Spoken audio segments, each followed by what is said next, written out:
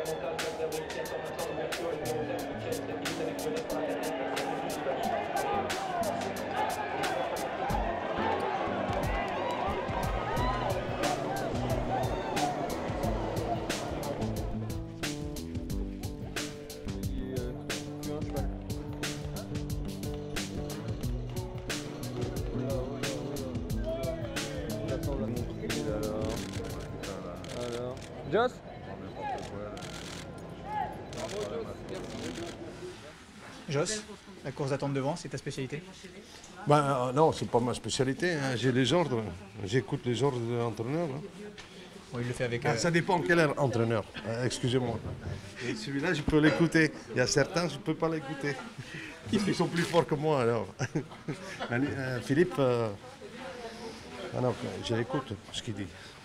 ouais, il- il remet les pendules à l'heure. Qu'est-ce qui s'était passé dans le critérium, Joss? Je sais pas, faut voir avec Philippe. Je peux pas te dire. Il, il a essayé d'améliorer le cheval et ça s'est mal passé. euh, changement de ferrure. Ouais. Ça enlève, ça enlève rien des qualités du cheval. et ça reste toujours un bon cheval. C'est simple. Et il le prouve ce soir. Est-ce que tu as eu des super sensations au super Ah oui, des chevaux comme ça, oui. Non? Pour finir, tu as pris le chrono? Pour finir? Oui. Salut, Jamy. Pour finir, non, extra. euh, J'ai débouché à 100 mètres du poteau. Et tu as le chrono? Tes 500 derniers? Les derniers 500 9,5. Je ne sais pas s'ils ont pris le même ici, mais moi, c'est 9,5.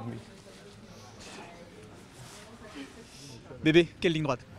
Ouais, le cheval court super bien en course de rentrée. Ce qui est dommage, c'est que Jean-Etienne nous sort un peu dans le dernier tournant. Je pense que ça nous coûte la victoire, mais bon, après, euh, ouais, la ligne droite très belle. euh, par contre, il aurait fallu que ça roule un peu plus pour qu'il tire moins pour les bras à Jean-Michel. Bon, en tout cas, euh, c'est une rentrée qui est convaincante. Bah, il confirme sa seconde place, hein, qu'on n'a pas volé dans le critérium. Après, voilà, euh, moi j'ai toujours pensé que c'était un cheval un peu d'exception. Il confirme, on est sur la bonne voie. Faut pas qu'on se loupe dans, dans l'Alberviel maintenant.